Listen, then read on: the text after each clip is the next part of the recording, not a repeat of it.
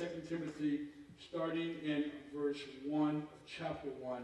And I'm only going to touch on three verses in this chapter because I'm going to kind of talk about a couple of things. In verse 1, Paul says, Paul, an apostle of Jesus Christ by the will of God, according to the promise of life which is in Christ Jesus. I read this verse because it helps us to understand that it is the Lord that called us to be saved. Of all the things that you must understand, God chose you. You did not choose God. So it has nothing to do with you being qualified. Like, you know, I'm just a bad person. Or I'm saved because I'm good. No, none of, none of the above. Whether you're bad or good doesn't mean anything because none's none good in God. But God has chosen us because he loves us. And he desires you. He desires to have you be a part of him. And so he reaches out and he chooses people. And then what we do is we respond to the call of God. We respond to being drawn by God. And then we become a part of the kingdom of God. It's not something that we do. It's something that God does. That's why it's such a blessing to be saved. Especially in my situation, because the people that I hung out with, all of us was druggies. All of us were messed up. All of us were, why did God choose me? Why did God say, you know, William, come out of the darkness, and then left them there?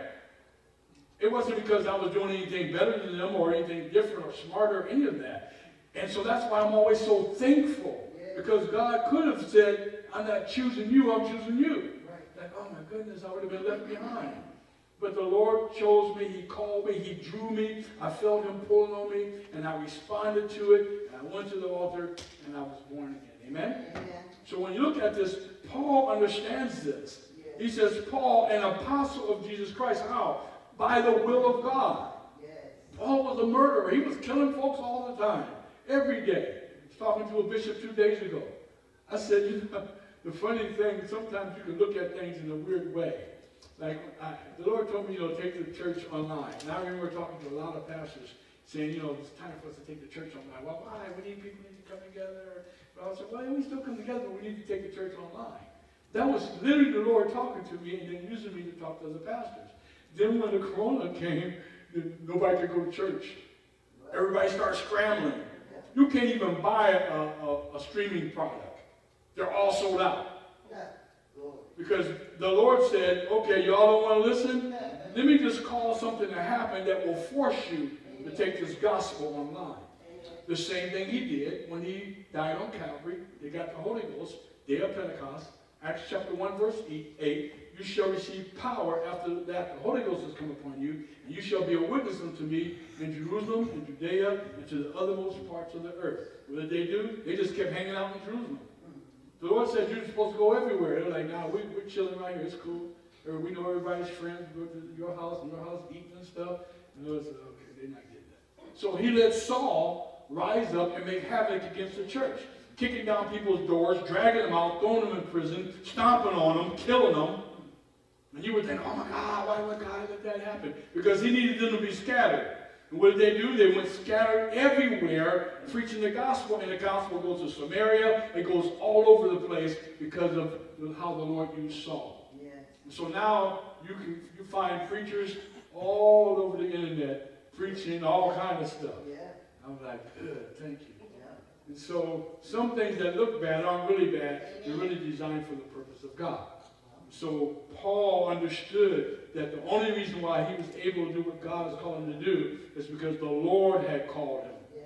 And he called him according to the promise of life, which is in Christ Jesus. He called him, said, listen, I'm going to give you life. I'm going to deliver you from this life of death. I'm going to give you eternal life. We have this life of death, of this, this life of life. We don't have a life of death anymore. We used to. We used to be lost in darkness. We used to be messed up. We were estranged uh, from the commonwealth of God. We didn't know the Lord, and we didn't have any hope. But then the Lord came along, and he drew us back unto himself, and he gave us a life, a life of peace and joy and tranquility and power and might and excitement. This is what God has for us. And he did it for us on his own without us doing anything. Amen? Drop down to verse 8 and 9. I'm show you something else here. so then Paul goes on and he begins to talk to Timotheus, which is Timothy. He says, Be not thou therefore ashamed of the testimony of our Lord, nor of me his prisoner, but be thou partakers of the affliction of the gospel according to the power of God, who hath saved us and called us with a holy calling, not according to our works, but according to his own purpose and grace, which was given us in Christ Jesus before the world began. He says, Listen, you see me go through and struggle. You see me be afflicted. You see me uh, deal with hard times and because I'm preaching the gospel. He says, don't be ashamed of the gospel. Don't back down from people that are like, oh, I don't want to hear about that Christian stuff. Oh, I don't want to hear that. So listen, don't be ashamed of the gospel. The gospel is the death, burial, and resurrection of the Lord Jesus Christ. Understand the power of that. The fact that Jesus went all the way to the cross to pay for our sins. Don't run out because of cough. oh, Jesus.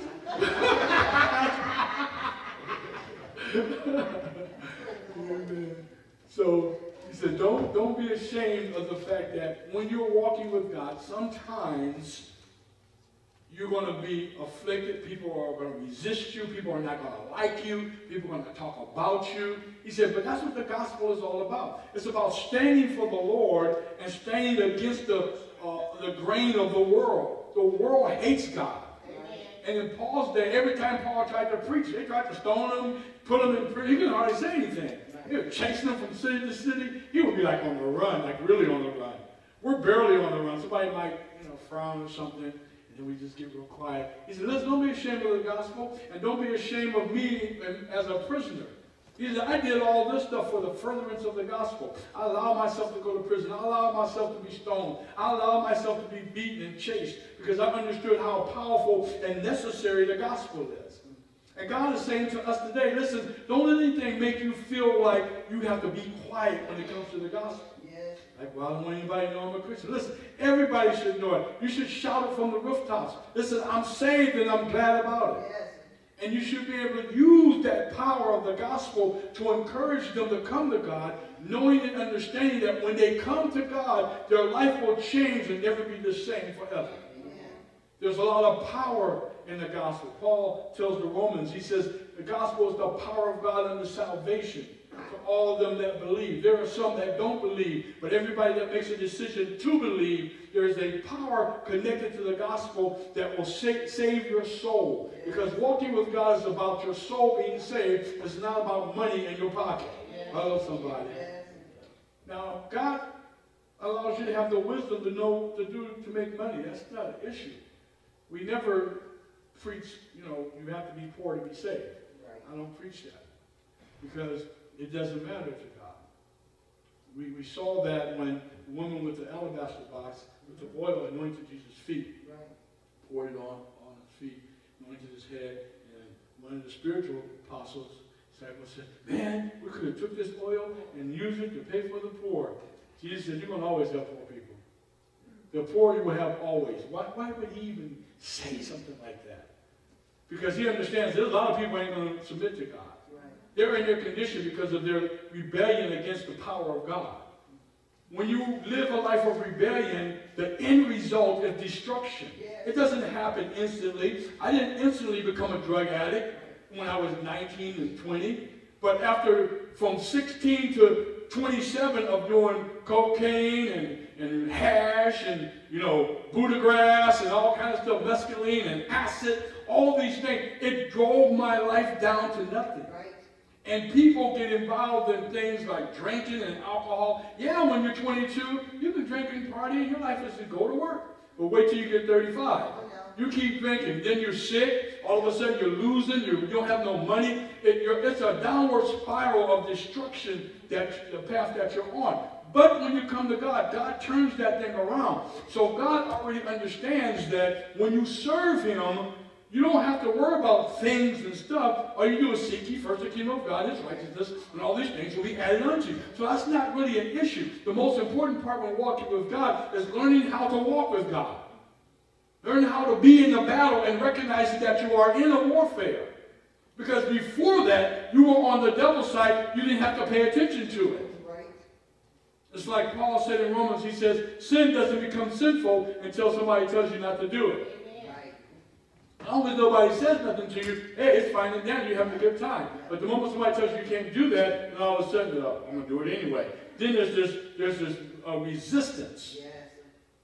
to the law that's telling you not to do, that's you're trying to do it anyway.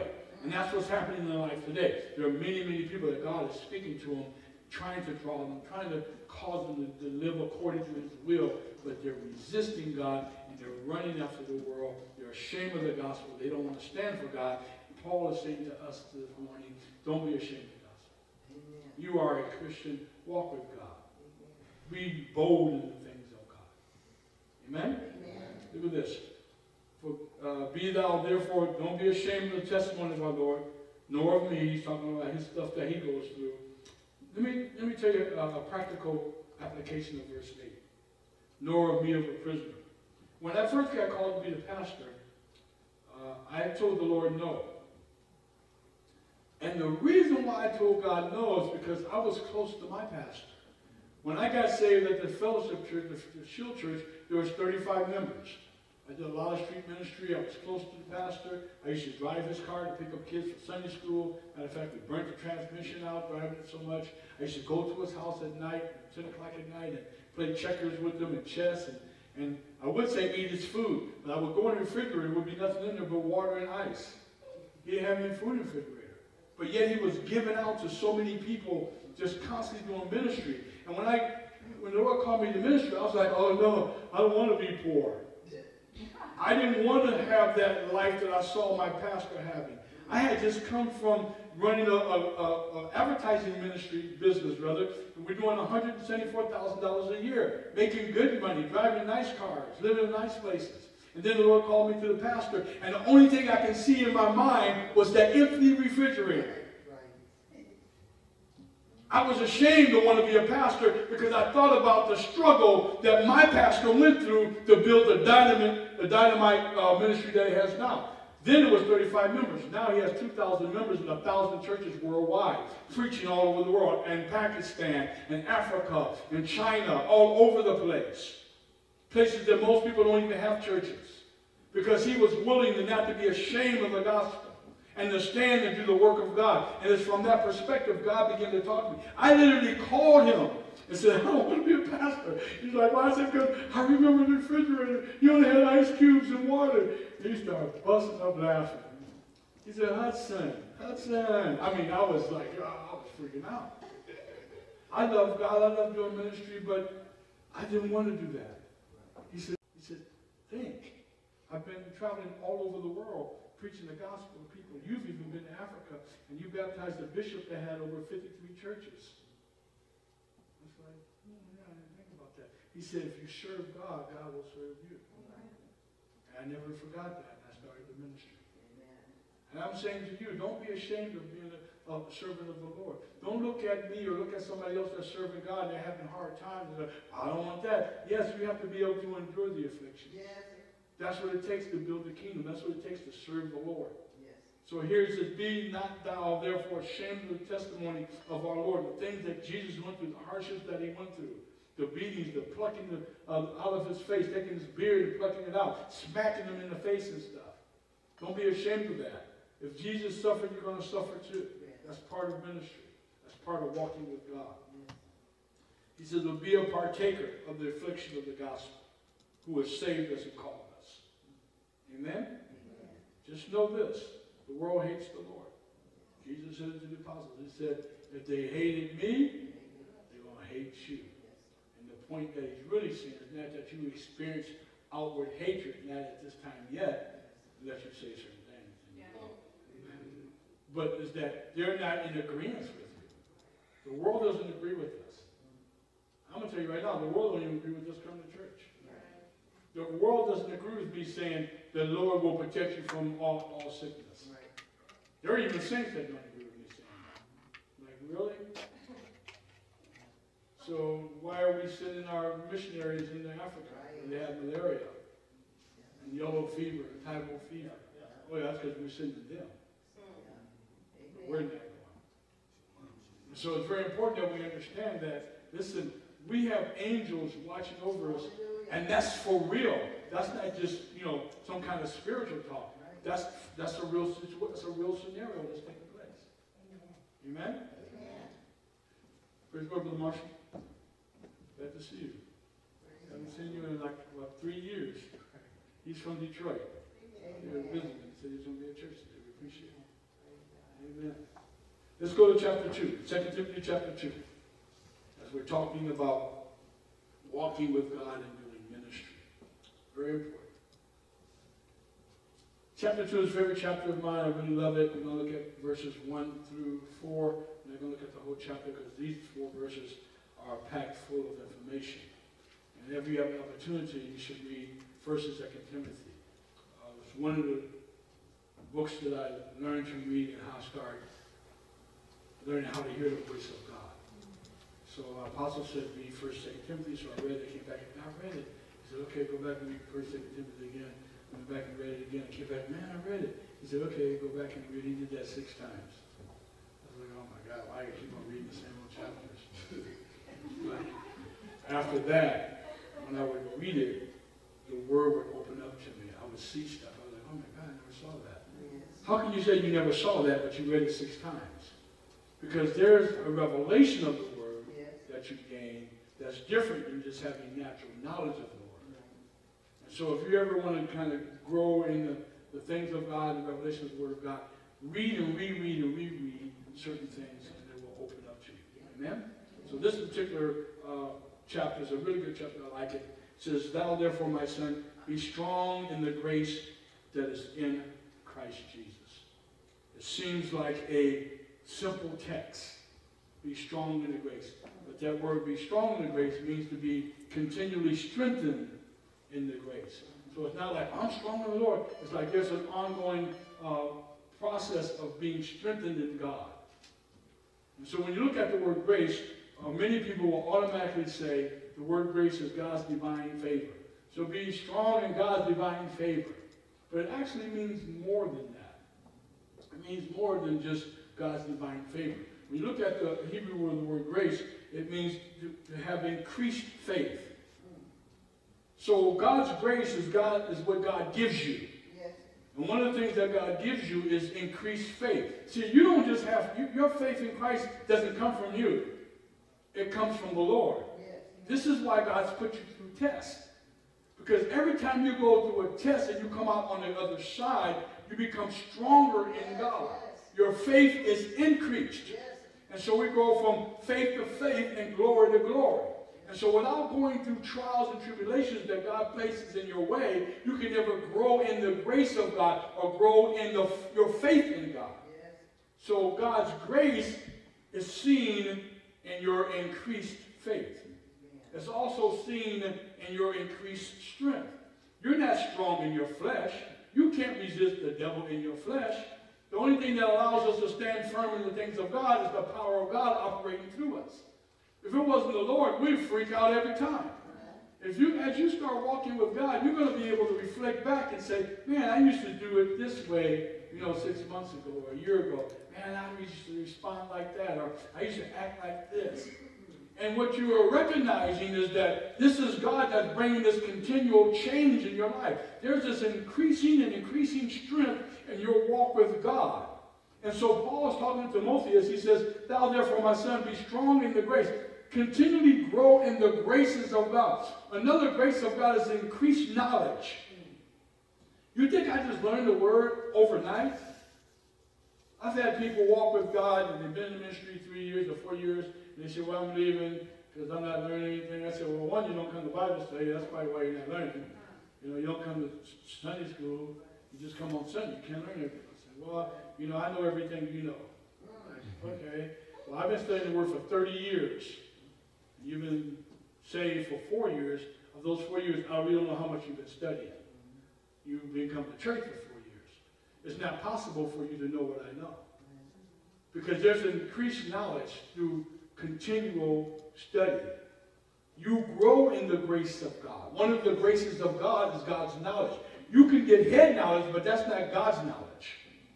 Paul says that we have received these revelations by the Spirit of the living God. I'm going to give you a small example. Satan knows the word, right? Right. He's been around for millions of years, thousands, however long God created him. He knows the word better than most of us. But the Bible says that if he had known what was going to happen when he put Jesus on the cross, he would have never put him on the cross. But that doesn't make any sense. You had Isaiah was written. You had all kind of Old Testament scriptures that were written about what God was going to do, what was going on. The prophets were looking into it and they couldn't see even what they only what they wrote themselves. Satan couldn't see it because it was written knowledge, but he didn't have God's knowledge. He didn't have revelation. And so when Paul comes along, Paul knew Isaiah. He was brought up in the, in the Old Testament scrolls. He was brought up in the, the top schools. He still didn't understand Isaiah. But then God came along, knocked him off the horse on the road to Damascus, gives him the Holy Ghost speaking in tongues, and begins to give him revelation on the Word of God. And this is what God gives us. That's called the graces of God, when God gives you insight to what the Word is really all about. And so Paul tells Timotheus to grow in the graces. One of those graces is you have to grow in the knowledge of God. That means you got to spend time praying. I used to pray all the time, Lord, give me wisdom, give me understanding. And even when I preach, I'm like, God, help me to make it clear. Help me to teach the word in a way that people will understand it. Because you can teach head knowledge, you can tell jokes and all kind of stuff. People can laugh, and they never learn anything more in the word of God. Learning, but never coming to the knowledge of the truth. We need to have a deep understanding of the word of God that comes from God himself. Amen. That's called the grace of God. It's not just God's divine favor. It means more than that. It means God giving you when he doesn't have to give you knowledge. James says, if any man lack wisdom, let him do what? Study a book. Get somebody else that's writing a book. All these people writing books is all surface stuff. We read so many books and we still don't have an understanding of the word. He says, if any man lack wisdom, let him do what? Let him ask of God, who giveth to every man upbraided not. What is he talking about upbraided not? Meaning that he won't rebuke you for a question. He never says, oh, that's a stupid question. Well, you should already know that by now. Jesus never does that. When you do not understand something in the Word of God, when you go before God and ask the Lord, show me, give me insight, God will begin to uncover yes. and reveal to you what the Word really means. Yes. That's why it's very challenging when you're arguing with people on the streets that don't really know the Bible. They just have scriptures memorized. And they're throwing out scriptures, and they're using scripture completely out of context. Completely out of context of what the scripture actually means according to the will of God, not according to man's head knowledge. And so as you begin to walk with God, as you continue to do ministry, it's important that you pray that God will give you grace. God, give me grace. Give me insight. Give me understanding. It will only come when you ask God for it. I can't force it into your head. You will not receive it by osmosis. I don't care. I can preach hard. I can do jumping jacks. I can do backflips. But you have to have a desire for the things of God. And that desire comes from God. That's called the grace of God. You guys with me this morning? Amen. Thou, therefore, my son, be strong in the grace. One of the other graces is your affection. What are you talking about, preacher? An affection is the way you feel about God. This is a, a subtle attack of the enemy that he does on us. He'll make you not want to. I don't feel like it. I don't feel like reading the Bible. I feel like lunch. I don't feel like and we, we think that's okay because it's like a natural thing to feel when you don't feel like doing something. Somebody call you up, you don't feel like talking to them.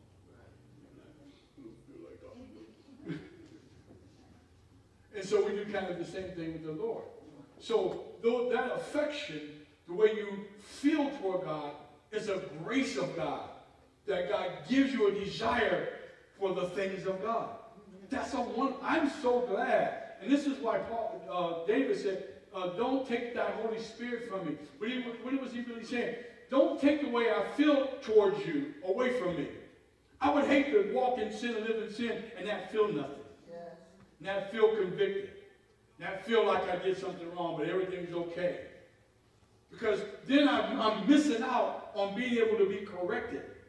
I'm missing out on being able to have the kind of right standing in God. But I'm so grateful, and I, I hope that you are grateful that the way that you feel toward God, you need to understand that is God that gives you that affection. Look at this in Psalms 37. Just keep your place here. I just want to show you a, a verse here. Psalms 37.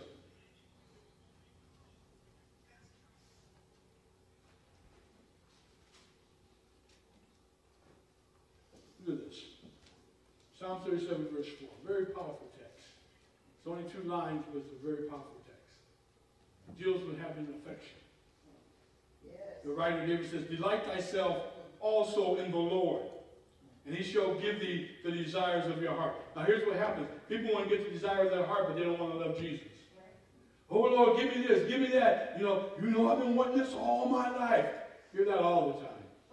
I've been wanting this for a long time. Yeah, but you're not delighting yourself in the Lord. You just want God to do something for you, but you don't want to love him. That's like being in a bad relationship. You want me to cook all the time, but you don't want to tell me you love me. You want me to bring money home all the time and give to you, but you don't want to show me that you care. And the Lord says, listen, I'll give you the desires of your heart, but that's second, that's not first. Delight yourself in me. Desire me, love me. Show me that you care. Put me first. I'll give you all that other stuff. You don't even have to worry about it. That's the point he's trying to make. That's not that you have to be constantly telling God, Lord, you know what I want. Lord, the Lord says, listen, I already know what you have need of. I already know what you want. How is he able to give us the desires of our heart? Because the Lord knows everything that we desire. He knows the thoughts that we think. And all he's saying is, listen, just love me. If you just love me, I'll take care of you. And when we're walking with God, this is the graces of God. We're strong in the graces of God. We're strong in our affection toward the Lord. We let people know, I love Jesus. Amen. That's why it ties in with the first chapter. He says not, not to be ashamed of the gospel. Don't be ashamed of telling people that you love the Lord. Right. I was talking to the, uh, the brothers this morning. Let's go back to 2 Timothy. About the t-shirts in the counter. And one teacher says, Great is the Lord. And I thought, I should have really pushed that t-shirt. Every time I wear that t-shirt, oh, she got it on over there. Great is the Lord. Someone says to me, yeah, I like that t-shirt. Yeah, man. They sure do. The minister told me he was wearing a t-shirt in the store one time, and he walked out the store. The guy ran out the store, almost got hit by a car, just to run up to him and go, yes. Great is the Lord. Having a desire to let people know, I love God. And that being ashamed of. Go back to 2 Timothy. Look at this. 2 Timothy chapter 2, verse 1. Thou, therefore, my son, be strong in the grace. Everybody understand how broad that word grace is now? Yes. Not just some small being kind. Yes. It's overarching. It causes you to exercise Christian virtue. Being strong in the grace being able to walk in Christian virtue. Man, that's such a, a fancy word. Christian virtue. Uh, what are you talking about, preacher? Okay, let me just bring it down to common language. Christian virtue means live uh, a high moral standard. Yes. When you're strong, strong in the grace of God, you are able to say, no, I'm not doing that. That's sin. When I got saved, I lived with my girlfriend.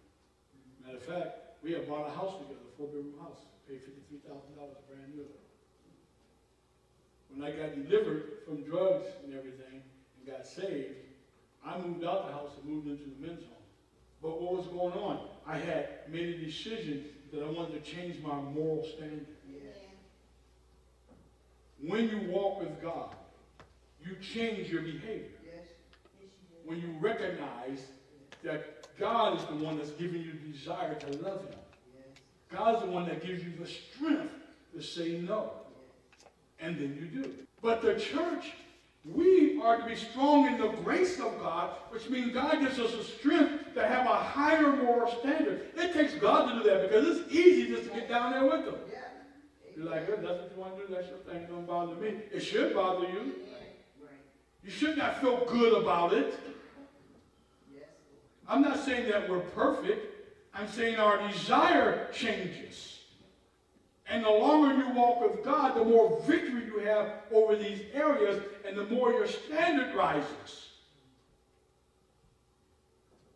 We're talking about walking with God and doing ministry. Because God has definitely called us for such a time as this. Yes.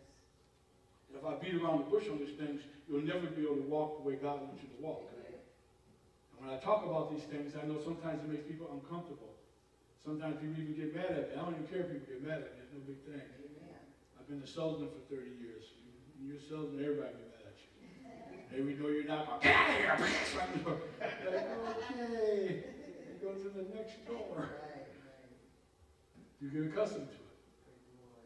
So anger is just a form of manipulation. That's all it is. Right? People get mad because they want you to stop. Mm-hmm. Don't say that. You know, you can't tell me what not to say. Your anger is not going to stop me. So we have to preach the gospel so it helps people. That's why Paul is instructing Timotheus. He's getting ready to be the bishop over the largest church of his time, the church of Ephesus. And he's young. He's a young guy. He's in his 30s. And you got men that are much older than him. And he's telling him, listen, you got to be strong in the grace of God. Because they'll run over you. Right. They'll tell you, no, man, you shouldn't be saying that. You got to be, listen, you, you don't tell me what to say. The Lord tells me what to say. You have to be able to have a stance. So look at this, chapter 2. Told you I'm going to teach today. Paul goes on and says, The things that thou hast heard of me among many witnesses, the same commit thou to faithful men who shall be able to teach others also. Thou therefore endure hardness as a good soldier of Jesus Christ. There's two thoughts here. The first thought is found in verse 3. And the thought is, no, verse 2 rather.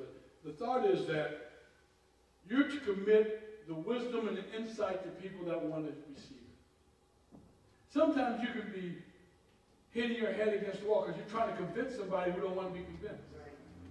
That's why Jesus told the apostles, he said, go into the city, heal the sick, preach the gospel, heal the sick, you know, but if somebody doesn't want to receive you, don't sit there getting mad with them, fussing and stuff. Just say, okay, and go on to somebody else. There is somebody that wants to receive the gospel. And he's telling Timotheus, he said, you need to spend your time imparting wisdom into people, one that are faithful to God and that want to receive the word of God. Yes. So we spend our time worrying about who's not coming to church ver- versus who is coming to church. So you're overlooking people that want something, Right. running after somebody that don't want it. Yes. It's like delicate balance versus loving somebody to Christ versus wasting your time, which is a trick of the enemy when you could be feeding the flock of God, the people that really want something from God, so they can grow in the things of God. Because those are the ones that are going to carry the mantle on into the next generation. Are you with me? That's, that's very hard.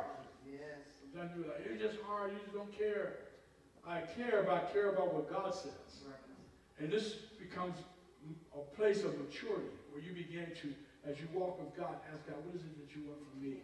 What do you want me to do? How am I supposed to behave? Who am I supposed to minister to? Who shall I spend time with? Now, new people that are coming in, of course, we're going to spend time with them, they don't know anything. But there are people that you've been trying to get to do things for 10 years, and you're still trying to, you got to leave them alone. Amen. Because there are people that actually want something.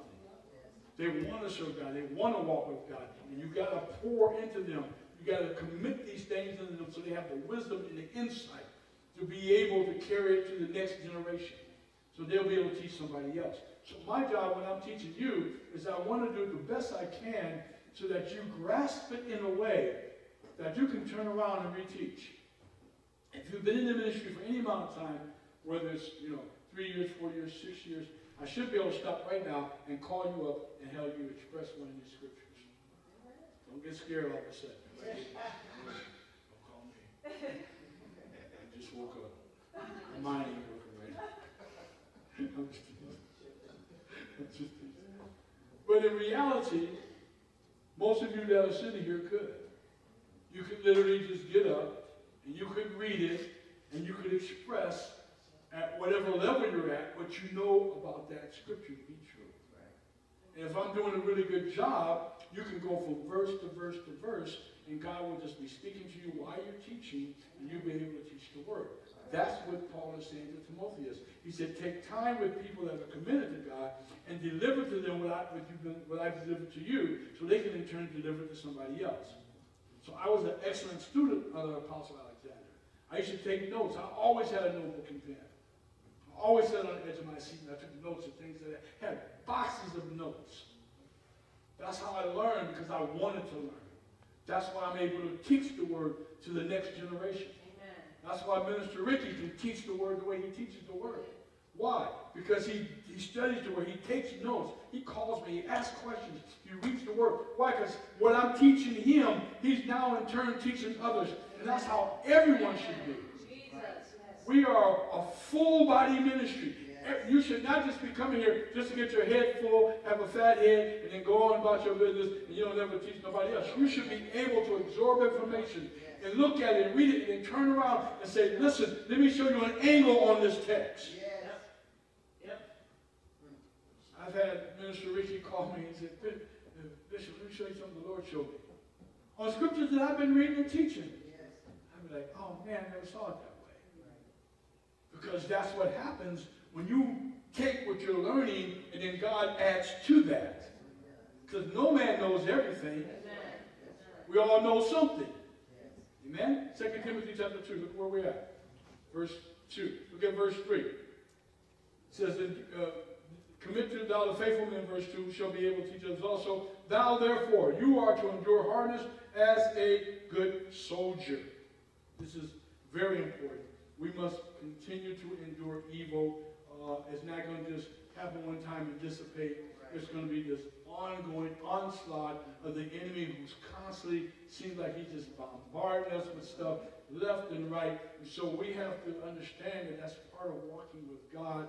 It's definitely part of being in ministry. You just have to endure it. You have to put up with it. You got to go through it, and on and on and on until the I know sometimes we're thinking, oh, when am I going to get some relief? You know, Lord Jesus, I don't know when you're going to get some relief. I can't answer that question. I'm asking the same question myself. You know, oh, Jesus, this is getting on my nerves. You know, it's like, really? I'm like, I didn't mean it that way. but sometimes these, these struggles and, and, and doing the work of ministry can make you feel uh, like you want to give up or impatient. Why did that happen? Because you're expecting things to go the way you want them to go. And when things don't go your way, we have this tendency of saying, okay, forget it then. But God is, uh, Paul is telling Timotheus, that's going to happen to you. You're building the work, and there are going to be times when you want to just say, forget it. He says, you got to continue. Someone say, continue. Continue. Amen. You got to continue to endure. We cannot allow our hearts to be uh, so divided between the work of God and living a life of ease. This is the ongoing challenge. Uh, when see, so what happens? You know, you come, you have this terrible life, depression life, uh, everything's going wrong. You know, Jesus saved me, and then you get saved, and then over the course of time, your life just gets easy. You have no pressure. You ain't getting high, you ain't getting drunk. You know, your finances are good, you got money saved. Your life becomes like a life of ease. And, it's, and it happens so subtly. You, you look back and you think, wow, Right. coronavirus, okay, we all got everything. Yeah. Send out 200 texts to everybody.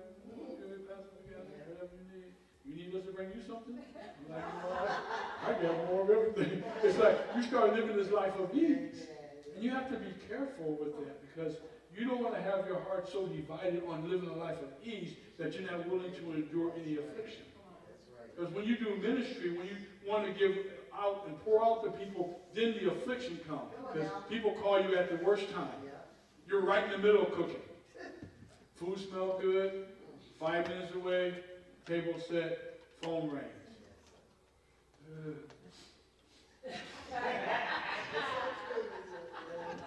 What do I do? What do Mom? And you answer the phone, they need your help, they need you to run across town. But I just was getting ready to fix the. Time I get back, the food gonna be cold. You know I hate cold food.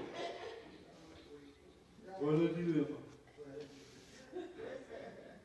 You can't let your heart get so connected to a life of ease that you serve God out of convenience. That you only serve God when it's a, a good time for you. When, when you're able right now and it's not going to inconvenience you. So the way that you you have to be able to endure hardness. You have to be able to endure the times when you don't want to do it. That's when you have to do it. When you don't want to pray and God gets on you to pray. God wakes you up at 2 in the morning and says pray. You got to wake up and pray. You got to do the things that God is calling you to, even when it's not convenient. Right. Thank you, Jesus. Whether it's giving of your money, giving of your time, whatever the case might be. That's what it means to walk with God and to do ministry. Yes, we're blessed. But don't let your blessing be a curse. Amen. Don't let the good times roll all the time. Let the good times roll. Okay. That's old school. Y'all know. Yeah, that's beyond your time. See this? Thou therefore endure hardness as a good soldier. The divided heart will open you up to always being tempted to avoid doing the things that God is calling you to do. It will. So always uh, keep your heart focused on the things God, the grace of God, the desires, the affections that come from the grace of God. It's God that gives us those affections to serve Him, not us. Amen. God starts giving you desire to serve, embrace it. Flow with it. You already know it's going to cost something. But do it anyway. Yes. Endure it. Yep. This is what it means to walk with. No man, verse 4, that entangles himself in the affairs of his life will be able to please him as he chosen him to be a soldier. Amen? Chapter 3. 2 Timothy chapter 3. These things are what God is calling us to do, all of us. To walk with him with a mindset that says, Thy will. What is it, Lord, that you would have me to do? Sometimes you can complain about everything that you're doing and that nobody else is doing nothing, and then you end up being like Elijah. Only I, only. I'm the only prophet doing stuff. And God says, hold up, let me stop you right there. You, you got it all twisted. I got 700 prophets that have not bowed the knee to Baal. I have, I have people everywhere that are serving me that you don't even know about. We have to understand there are a lot of people that have a commitment to God. They have an affinity for the things of God. And so just because one person doesn't want to do it, listen, there's always somebody that wants to do it. The Lord says, I will have a remnant. Amen. I will have people that love me and will serve me. Thank you, Lord. I'm just asking you to be one of them. And if you don't be one of them, you're not going to stop anything. No man can stop the ship. God says, I will build the church, and the gates of hell shall not prevail. What is the gates of hell? It is that spirit that resists what God wants to get accomplished. He said, There is no demonic spirit that can resist what God is doing. None, not one. Even though you might look around you and it looks like, my God, there's such a resistance to the church, it ain't going to stop the Lord. It would be, be like, what's his name? Neil. Um, well, I forgot the name of the movie. But Matrix. He's all down, and all the guys are all piled on him. He goes, "Pow!" He shoots up, and they fly everywhere. It's like evil will try to stop the church. It'll be all around, just piling up and piling up. And then the Lord all of a sudden be like, okay, I'm done with that. Fire! Church just pops up. I'm Some business. This is just the way I see things. I'm weird that way. Look at this chapter. Amen. We're looking at four chapters. We're just looking at a few verses that leads us to chapter 4, verse 18. We're in chapter 3, verse 1, a very familiar text. Know also that in the last days, perilous times will come. You've heard this spoken about quite often down through the years. I want to bring it back to mind because the word perilous means there are times that are hard to bear. Yes. Right now, it's kind of hard to bear for people just to stay home. Right. They're, they're so used and accustomed to, you know, going and coming and that freedom that when it gets stifled, it just becomes difficult. For me, especially because I really don't like this to stay. I like to go around just for no reason. Other people have to have a reason to go somewhere. I don't need a reason. I'm just like, where you going? I'm just going. It's like, okay, see you get back. go around, go around the circle. And after a few periods of time, I'm going to the store. We don't need anything. Right. But, uh, okay, I'm, I'm just gonna see if there's something there. But, you know, I don't wanna stay, I want, I like to go, I like to go, go. I hate taking people to the airport, because I wanna get on the plane. Right.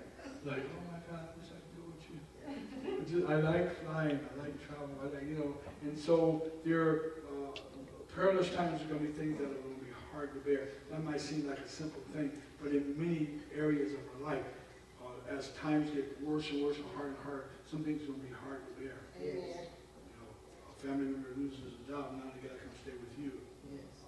You're all stacked up in the house, it's four of y'all. Remember that one time, we had a two-bedroom apartment, we had like twelve people living with us?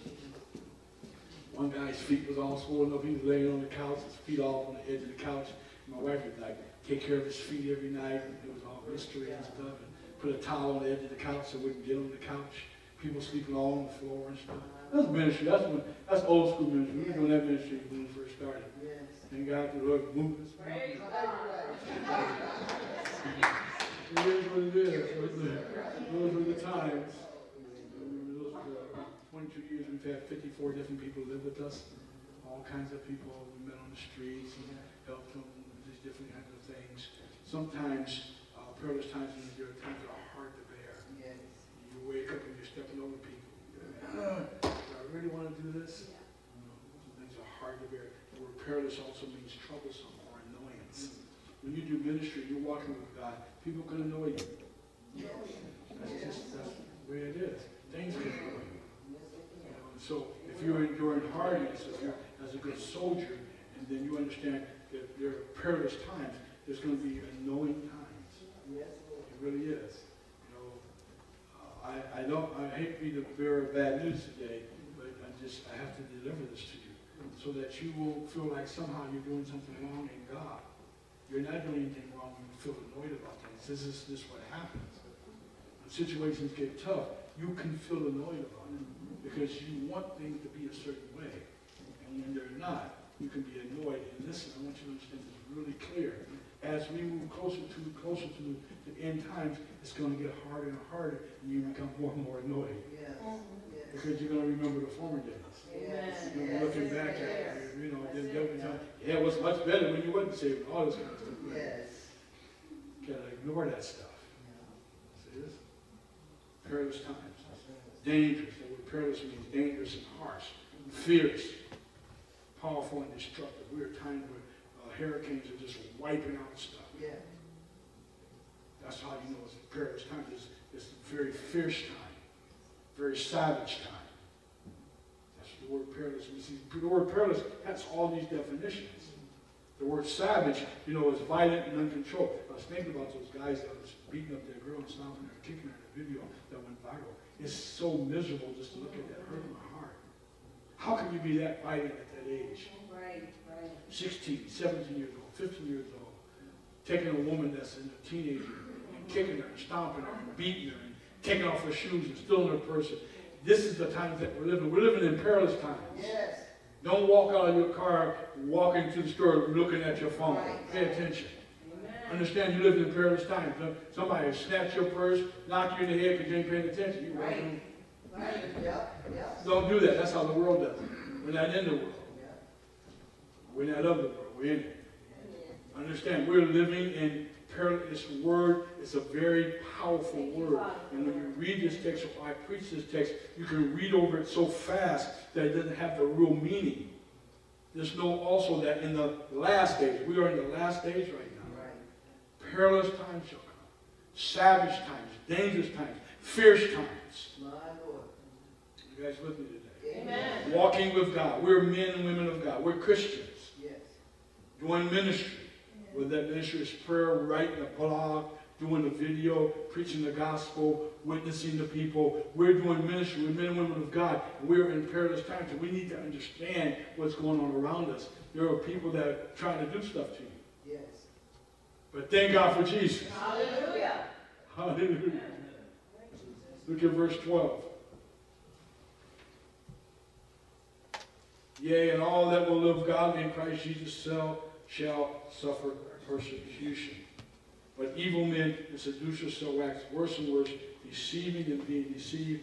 But you are to continue thou in, the things which thou hast learned and hast been assured of, knowing of whom thou hast learned them. He says, listen, you need to understand it's perilous times. Yes, men are going to get worse and worse. Evil men are going to wax worse and worse. Seducing people. People are going to be getting tricked left and right. But you are to continue the things. Don't get caught up. Stand back and just look at what's going on around you. Say, okay, I see that. Now you ain't gonna get me over there.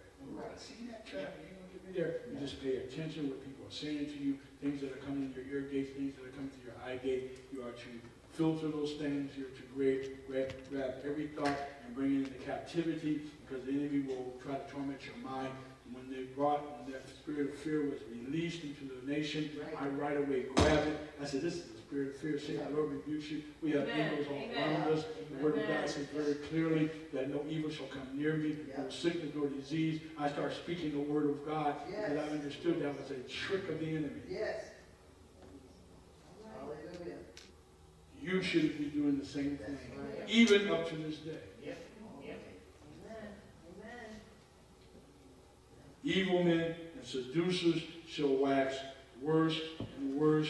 They're going to be deceiving everybody they can. They're going to even be deceived themselves. Yep. Are you with me? Amen.